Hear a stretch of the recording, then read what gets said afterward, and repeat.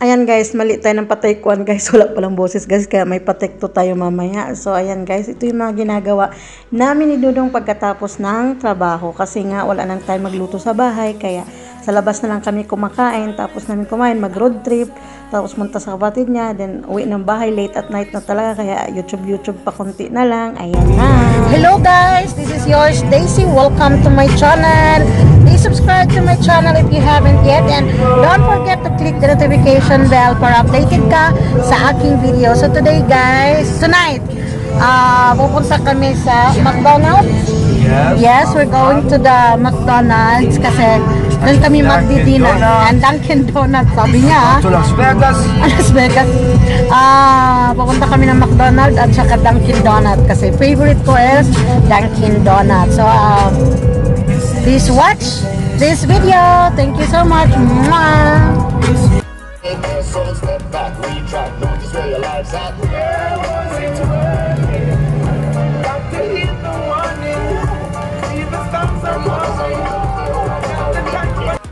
Ayan na, punta na si Dodong sa Dunkin Donut. Andun na siya sa loob. Yung Dunkin Donut kasi sa McDonald's na lang kami makakain. Ayan, my favorite Dunkin Donut.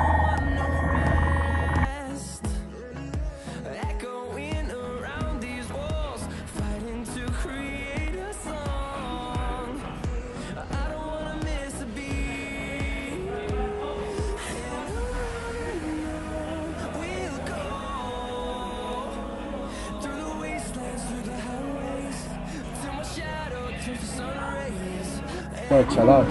Okay. Ayan guys, waiting na lang kami sa aming order. Kain na na. Ay guys, kinain pala namin yung Dunkin Donut sa sasakyan. O di, eh di ba wow? Hindi kinaya. Kasi dalawang McDonald's ang pinuntahan namin.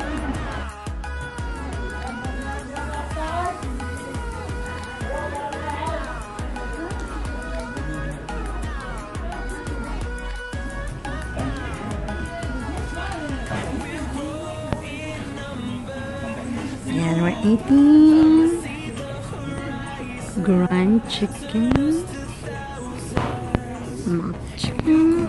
Oh, I love my fries. Send me this video, huh? Okay.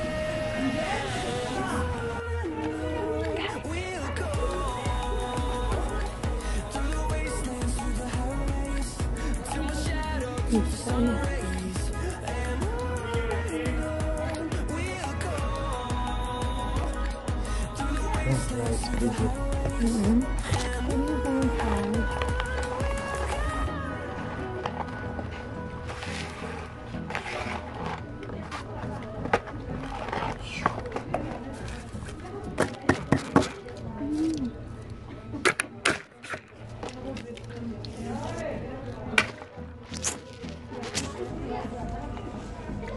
들어가.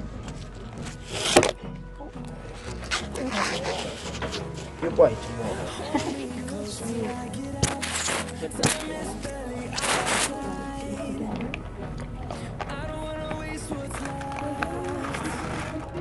such a wonderful them how it's.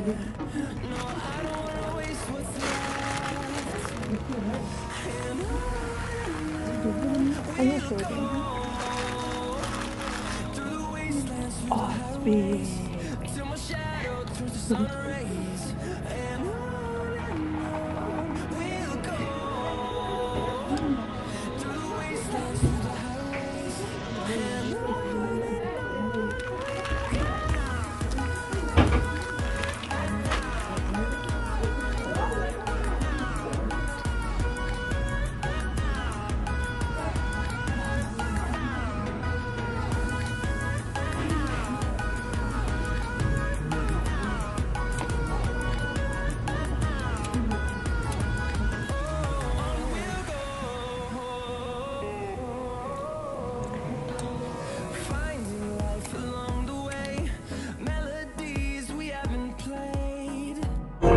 They go by without praising the Most High. Cause it's the only way we ever will survive. Yeah, it's a mad,